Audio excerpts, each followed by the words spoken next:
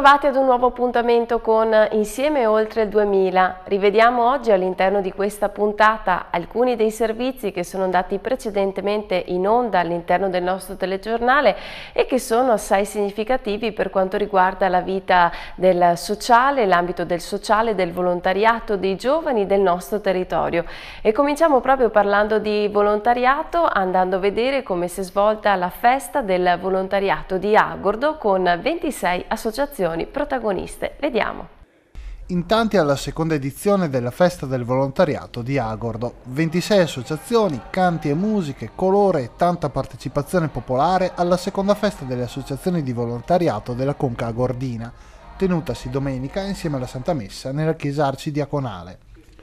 Su iniziativa del Consiglio pastorale della parrocchia, visto l'esito positivo dello scorso anno, si è deciso di ripetere l'incontro chiamando a raccolta tutti i soggetti che, nella conca, offrono tempo e denaro a favore di tutta la comunità che ha dimostrato gratitudine con una presenza massiccia alla cerimonia religiosa presieduta dall'arcidiacono Monsignor Giorgio Lise. Festa solenne anche per la presenza del coro africano I Cherubini di Belluno, che ha alternato canti in italiano e nelle lingue di origine.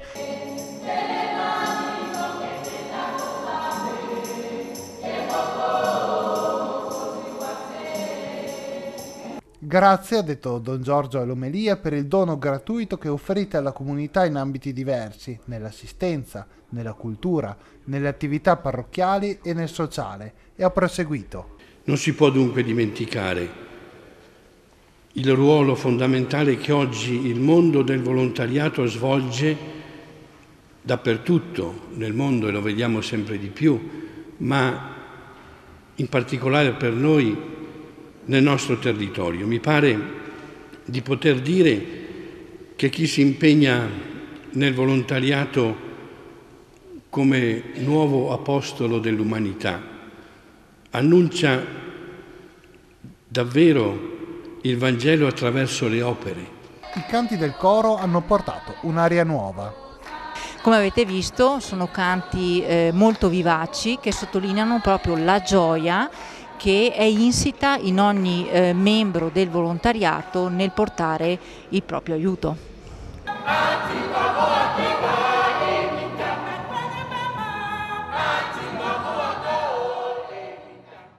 Voltiamo pagina, ci spostiamo adesso in Val del Biois perché c'è stato un duplice appuntamento nel primo sabato di maggio con la grande processione della Santa Cross e la solenne cerimonia in ricordo dei 500 anni della chiesa di Sappade. Vediamo.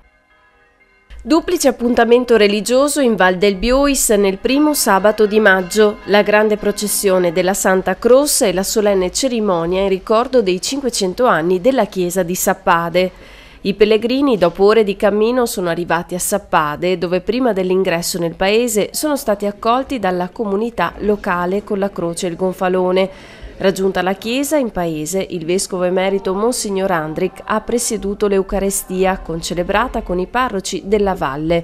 Durante l'omelia, Monsignor Andric ha spiegato il significato della croce come simbolo e segno delle croci che siamo chiamati a portare, sostenendoci l'un l'altro.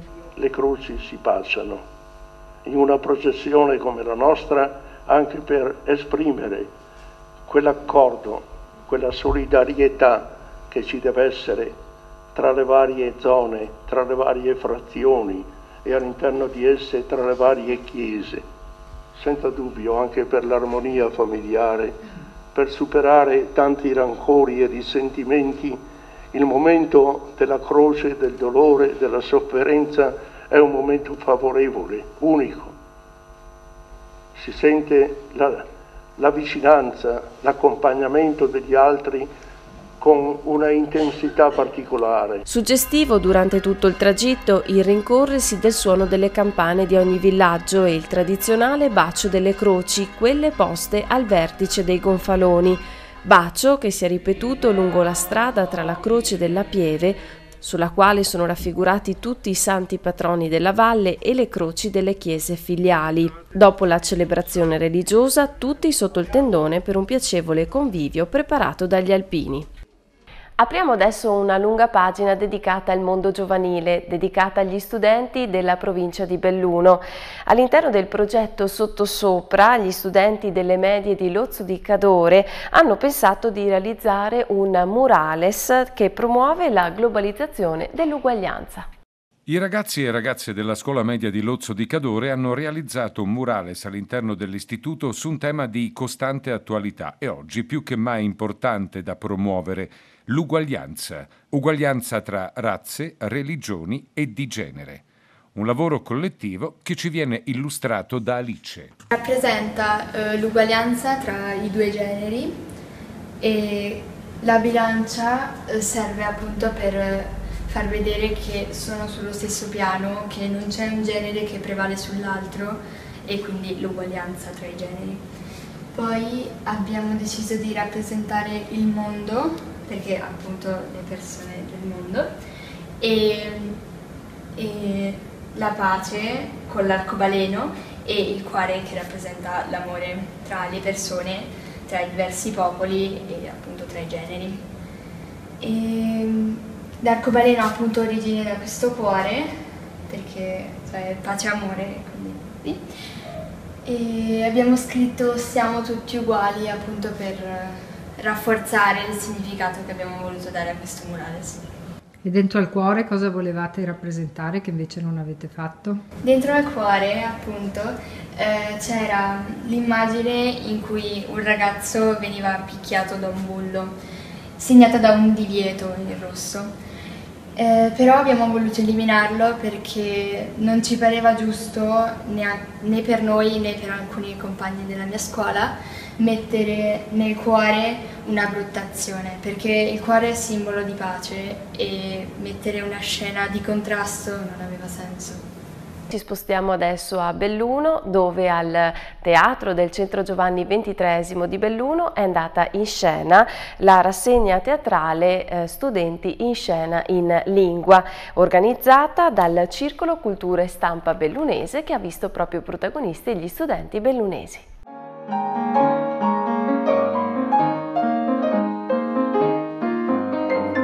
È andata in scena stamane al Teatro del Centro Diocesano Giovanni XXIII di Belluno l'ottava rassegna teatrale Studenti sulla scena in lingua, proposta dal Circolo Cultura e Stampa Bellunese. Ad esibirsi gli studenti della scuola primaria di Vodo di Cadore, dell'Istituto Comprensivo Cortina d'Ampezzo, la scuola secondaria Ricci di Belluno e il liceo statale Giorgio Dal Piazza di Feltre. L'obiettivo è a chiusura di un'attività che ci ha eh, impegnati tutto l'anno anno in cui abbiamo visto compagnie che si sono esibite in lingua straniera, eh, inglese per la scuola elementare, media e superiore, eh, mm, tedesco e spagnolo, dare l'opportunità ai ragazzi di esibirsi anche loro in lingua straniera o anche in ladino che noi sosteniamo eh, da anni, questo è l'ottavo anno di studenti sulla scena in lingua, per dare l'opportunità ai ragazzi che hanno fatto attività con i loro docenti oltre il scolastico, eh, di esibirsi e di avere la possibilità di esibirsi in un teatro. Io credo nel teatro, credo nella possibilità che il teatro dà, nell'importanza che esso ha e soprattutto l'emozione che il teatro dà, che non è un'aula scolastica, che non è un atrio scolastico, ma è qualcosa in più. Quindi noi diamo questa opportunità e oggi abbiamo avuto ancora queste scuole, eh, non, non, tutte quelle che avrebbero voluto venire per vari impedimenti eh, delle loro attività eh, curriculari, eh, però però sempre Vodo con il ladino, la scuola liceo eh, dal Piaz con il tedesco e eh, la parte musicale dell'indirizzo musicale della scuola media Ricci. La mattinata si è conclusa con la consegna degli attestati ai giovani. I giovani sono anche molto attratti da quello che è l'ambito dell'agricoltura e delle attività a contatto con la terra. Nella regione Veneto gli occupati in agricoltura lo scorso anno, pensate, sono cresciuti del 15% e anche per quanto riguarda la provincia di Belluno i dati sembrano essere molto interessanti. Noi abbiamo intervistato il presidente di Coldiretti Belluno, Silvano Dal Paus. Il primario risulta essere un settore dalle grandi potenzialità, capace di incrementare l'occupazione e a confermarlo sono i dati. Recentemente la Regione Veneto ha infatti riferito come gli occupati in agricoltura lo scorso anno siano aumentati del 15%. Io direi che essenzialmente è un dato anche nazionale, l'agricoltura in questo momento è trainante nel settore dell'occupazione, quindi molto bene, anche se dobbiamo ricordare che il reddito è diminuito un po' pro capite.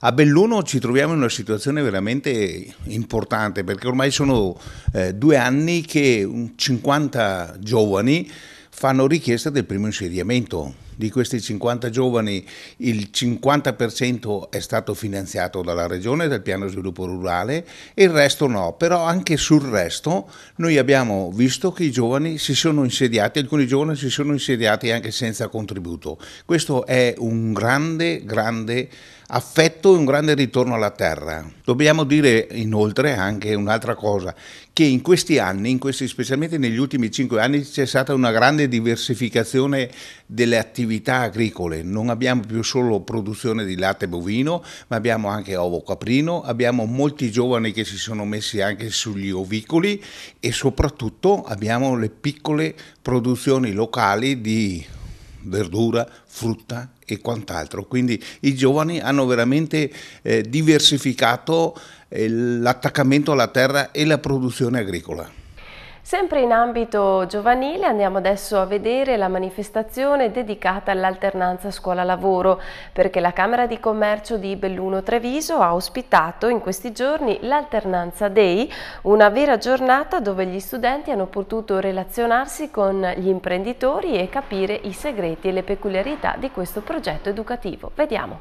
Cosa pensano gli studenti bellunesi dell'alternanza scuola-lavoro? La risposta è stata data dalla Camera di Commercio dove si è tenuta una giornata di scambio fra ragazzi e aziende per fare il punto della situazione sui numerosi progetti che hanno coinvolto imprese e istituti scolastici in questi anni il valore che ha la formazione all'interno di un'impresa nel momento della formazione scolastica è un valore aggiunto a quelle competenze che si apprendono alla scuola. Assaporare la vita, eh, la quotidianità di un'impresa eh, vuol dire seminare e far apprendere meglio i giovani quali, come si svolge l'attività all'interno di un ambiente di lavoro.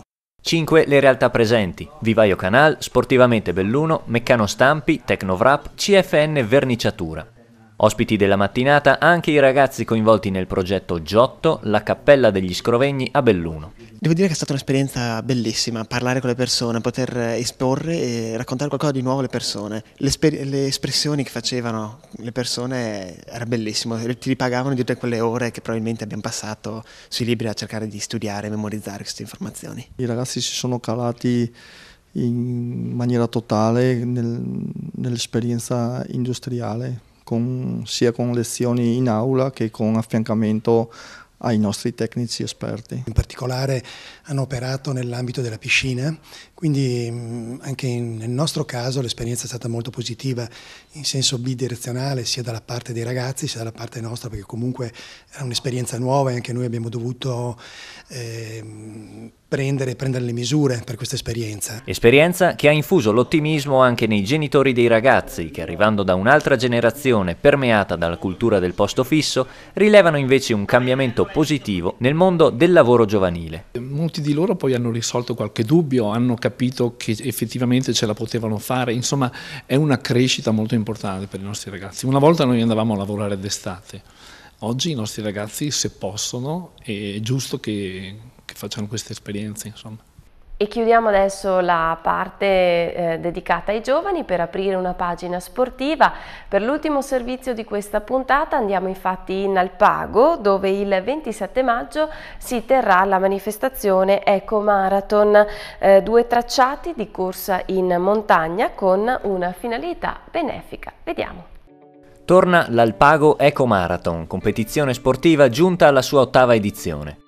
Due i percorsi, uno da 50 e uno da 21 km, che si snoderanno tra i sentieri della Conca Alpagota, arrivando a toccare anche le alte quote dei rifugi Dolada e Semenza.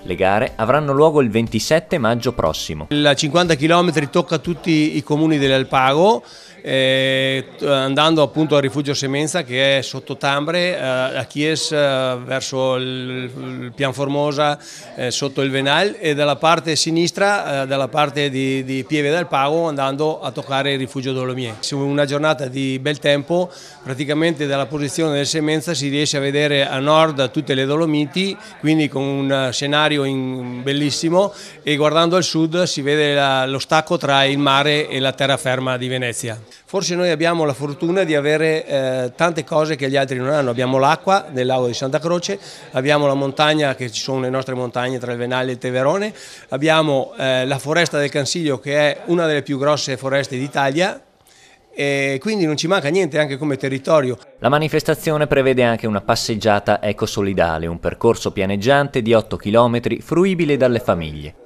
L'iniziativa ha anche uno scopo benefico. I proventi verranno infatti destinati a Belluno Rianima, associazione impegnata nell'assistenza sanitaria che garantirà un punto di pronto soccorso durante le gare. Loro si sono eh, manifestati disponibili a garantire questo tipo di assistenza eh, e, quindi, e noi, eh, le varie associazioni, si sono comunque impegnate a versare un contributo a seconda di quello che è l'evento, sempre a favore dell'associazione dell Belluno Rianima. Quindi questo è eh, un bel esempio di collaborazione tra varie associazioni perché eh, le, le, le realtà e le problematiche dell'organizzazione di vari eventi sono sempre più stringenti.